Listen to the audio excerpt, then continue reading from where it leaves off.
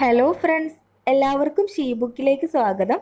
ഇന്ന് ഞാൻ വന്നിട്ടുള്ളത് നമുക്ക് വൈകുന്നേരം ചായന്റെ കൂടെയൊക്കെ കഴിക്കാൻ പറ്റിയ ഒരു കിടിലൻ നാലുമണി പലഹാരത്തിന്റെ റെസിപ്പിയുമായിട്ടാണ്. അപ്പോൾ ഇന്ന് നമ്മൾ നല്ല സോഫ്റ്റും നല്ല ടേസ്റ്റും ആയിട്ടുള്ള ഒരു വെറൈറ്റി സ്നാക്കാണ് തയ്യാറാക്കിയെടുക്കുന്നത് വളരെ കുറഞ്ഞ ചേരുവകളോണ്ട് കൊണ്ട് എളുപ്പത്തിൽ ഉണ്ടാക്കിയെടുക്കാൻ പറ്റും. അപ്പോൾ നമുക്കിതെങ്ങനെയാണ് ഉണ്ടാക്കുന്നതെന്ന് നോക്കാം. ഇതിനു വേണ്ടിയിട്ട് ആദ്യം തന്നെ ഒരു ബൗൾ എടുത്ത് വെച്ചിട്ടുണ്ട്. അതിലേക്ക് നമുക്ക് ഒന്നര കപ്പ് മൈദ ഇട്ട് കൊടുക്കാം. അപ്പോൾ മൈദക്ക് പകരം നിങ്ങൾക്ക് വേണമെങ്കിൽ ഗോതമ്പ് പൊടി വെച്ചിട്ടും ഈ ഒരു സ്നാക്ക് ചെയ്യാം. ഇനി ഇതിലേക്ക് മധുരത്തിന് വേണ്ടിയിട്ട് ഞാൻ മൂന്ന് ടേബിൾ സ്പൂൺ പഞ്ചസാര ചേർത്ത് കൊടുക്കുന്നുണ്ട്. അപ്പോൾ നിങ്ങൾക്ക് മധുരം വേണ്ടാത്തവരാണെങ്കിൽ ഉപ്പ് ചേർത്തിട്ടും ഈ ഒരു സ്നാക്ക് ഉണ്ടാക്കാം. പിന്നെ ഇതിന്റെ മധുരം ഒന്ന് ബാലൻസ് ആവാൻ വേണ്ടിയിട്ട് ഒരു നുള്ളു ഉപ്പ് കൂടി ചേർത്ത് കൊടുത്തിട്ടുണ്ട്. ഇനി ഇതിലേക്ക് ഞാൻ ചേർത്ത് കൊടുക്കുന്നത് ഒരു ടീസ്പൂൺ ഈസ്റ്റ് ആണ്. അപ്പോൾ ഇത് നേരിട്ട് തന്നെ ഈ പൊടിയിലേക്ക് ഞാൻ ചേർത്ത് കൊടുത്തിട്ടുണ്ട്. ഇനി ഒരു കോഴിമുട്ട ഇതുപോലെ പൊട്ടിച്ചൊഴിക്കാം. പിന്നെ അതുപോലെ തന്നെ ഒരു ടേബിൾ സ്പൂൺ സൺഫ്ലവർ ഓയിലാണ് ഞാൻ ഇതിലേക്ക് ഒഴിച്ചു കൊടുക്കുന്നത്. അപ്പോൾ നിങ്ങൾക്ക് ഈ ഓയിലിന് പകരം ബട്ടർ മെൽറ്റ് ചെയ്തിട്ടോ അല്ലെങ്കിൽ നെയ്യൊക്കെ ചേർത്ത് കൊടുക്കാം. ഇനി മുട്ടയുടെ ടേസ്റ്റ് ഒന്ന് പോകാൻ വേണ്ടിയിട്ട് ഇതിലേക്ക് രണ്ട് തുള്ളി വാനില എസൻസ് ഒഴിച്ചു കൊടുക്കുന്നുണ്ട്. അപ്പോൾ നിങ്ങളുടെ കയ്യിൽ വാനില എസൻസ് ഇല്ലെങ്കിൽ നിങ്ങൾക്ക് ഏലക്കാപ്പൊടി ചേർക്കാം. ഇനി നല്ല മാവ് പോലെ സോഫ്റ്റ് ആക്കിയിട്ട് ഇതിന് കുഴച്ചെടുക്കണം. അപ്പോൾ ചെറിയ ചൂടുള്ള പാൽ ഉപയോഗിച്ചിട്ടാണ് ഞാൻ കുഴച്ചെടുക്കുന്നത്. നിങ്ങൾക്ക് വേണമെങ്കിൽ വെള്ളം ചേർത്തിട്ടും ഇത് കുഴച്ചെടുക്കാം.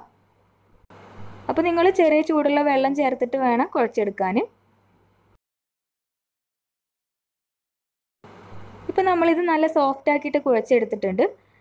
ഇനി നമുക്കിതൊന്ന് റെസ്റ്റ് ചെയ്യാനായിട്ട് വെക്കണം. അപ്പോൾ അതിനായിട്ട് നമ്മൾ എടുക്കുന്ന ബൗൾ ഇതുപോലെ ഓയിൽ വെച്ചിട്ടൊന്ന് ബ്രഷ് ചെയ്യാം. എന്നിട്ട് മാവ് അതിൽ വെച്ചിട്ട് അതിന്റെ മുകളിൽ കുറച്ചുകൂടി ഓയിൽ ഇതുപോലെ ബ്രഷ് ചെയ്ത് കൊടുക്കണം. മൂടി വെച്ചിട്ട് ഒരു പത്ത് മിനിറ്റ് നമുക്കിതിനെ റെസ്റ്റ് ചെയ്യാനായിട്ട് മാറ്റി വെക്കാം. ഇപ്പോൾ പത്ത് മിനിറ്റ് കഴിഞ്ഞിട്ടുണ്ട്. നമ്മുടെ മാവ് ഒന്നുകൂടി സോഫ്റ്റായി വന്നിട്ടുണ്ട്. ഇനി ഇതിനെ നന്നായിട്ട് വീണ്ടും നമുക്കൊന്ന് കുഴച്ചെടുക്കാം.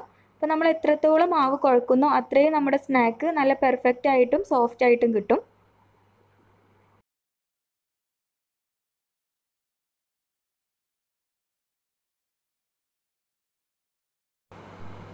അപ്പോൾ ഞാൻ ഇതുപോലെ നല്ല സോഫ്റ്റ് ആക്കിയിട്ട് വീണ്ടും കുഴച്ചെടുത്തിട്ടുണ്ട്. ഇനി നമുക്കിതിനെ പരത്തിയെടുക്കണം. അപ്പോൾ അതിനായിട്ട് ഇതുപോലെ ഒരു പ്ലെയിൻ സർഫസിൽ നമുക്ക് കുറച്ച് മൈദപ്പൊടി ഇട്ട് കൊടുക്കാം. ഇനി നമുക്കിത് പരത്തിയെടുക്കാം. ഇപ്പോൾ ഞാനിത് പരത്തിയെടുത്തിട്ടുണ്ട്. അപ്പോൾ നിങ്ങൾ കൂടുതൽ തിന്നായിട്ട് പരത്തൊന്നും വേണ്ട. ഇതുപോലെ കുറച്ച് കനത്തിലാണ് ഈ ഒരു മാവ് പരത്തേണ്ടത്. ഇനി ഇഷ്ടമുള്ള രീതിയിൽ നമുക്കിതിനെ കട്ട് ചെയ്തെടുക്കാം. അപ്പോൾ ഞാൻ ഇതുപോലെ ഒരു ഗ്ലാസ് വെച്ചിട്ട് ഹാഫ് മൂൺ ഷേപ്പിലാണ് കട്ട് ചെയ്യുന്നത്. അപ്പോൾ നിങ്ങൾക്കിത് കാണുമ്പോൾ തന്നെ മനസ്സിലാവും. ഗ്ലാസിന്റെ പകുതി വെച്ചിട്ട് നമുക്കിത് കട്ട് ചെയ്യാം. അപ്പോൾ ഈ ഒരു ഷേപ്പിലാണ് നമുക്ക് കിട്ടുന്നത്.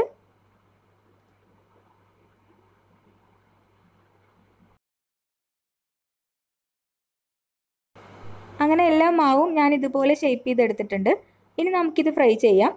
അപ്പോൾ അതിനായിട്ട് എണ്ണ നന്നായിട്ട് ചൂടാക്കി എടുക്കണം. ഇനി നല്ല തിളച്ച എണ്ണയിലേക്ക് ഇട്ടിട്ട് ഇതുപോലെ ഫ്രൈ ചെയ്ത് കൊടുക്കാം. ആദ്യം ഹൈ ഫ്ലെയിമിൽ ഇട്ടിട്ട് ഒന്ന് ഫ്രൈ ചെയ്ത് കൊടുക്കണം. പിന്നെ നമ്മൾ ലോ ഫ്ലെയിമിലേക്ക് മാറ്റിയിട്ട് ഇതിന്റെ ഉൾവശം ഒന്ന് വേവിച്ചെടുക്കണം. ഒരു ഭാഗം ആയി കഴിഞ്ഞാൽ മറിച്ചിട്ടിട്ട് മറുഭാഗം കൂടി നമുക്ക് ഫ്രൈ ചെയ്ത് കൊടുക്കാം.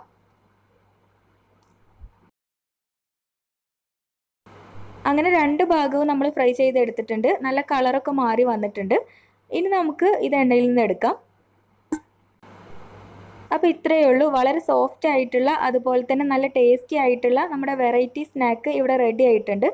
അപ്പോൾ ഇത് പൊളിച്ച് നോക്കുമ്പോൾ തന്നെ നമുക്കറിയാം നല്ല സോഫ്റ്റ് ആണ് അതുപോലെ തന്നെ നല്ല ടേസ്റ്റിയുമാണ് ഇത് നമ്മൾ ബണ്ണൊക്കെ ഉണ്ടാക്കുന്ന പോലെ തന്നെയാണ് തയ്യാറാക്കിയിട്ടുള്ളത്. അപ്പോൾ ഫ്രൈഡ് ബണ്ണൊക്കെ കഴിക്കുന്ന അതുപോലെ തന്നെയാണ്. ഇതിന്റെ ഷേപ്പിൽ മാത്രമേ മാറ്റുള്ളൂ. അപ്പോൾ നിങ്ങൾ ഇതുപോലെയൊക്കെ ഉണ്ടാക്കി നോക്കിയിട്ട് അഭിപ്രായങ്ങളൊക്കെ അറിയിക്കുക. വീഡിയോ ഇഷ്ടമായിട്ടുണ്ടെങ്കിൽ തീർച്ചയായിട്ടും ലൈക്ക് ചെയ്യണം. നിങ്ങളുടെ ഫ്രണ്ട്സിനും ഫാമിലിക്കൊക്കെ ഷെയർ ചെയ്ത് കൊടുക്കണം. അപ്പോൾ ഇതുപോലത്തെ മറ്റൊരു വീഡിയോ ആയിട്ട് വരുന്നത് വരെ എല്ലാവർക്കും താങ്ക്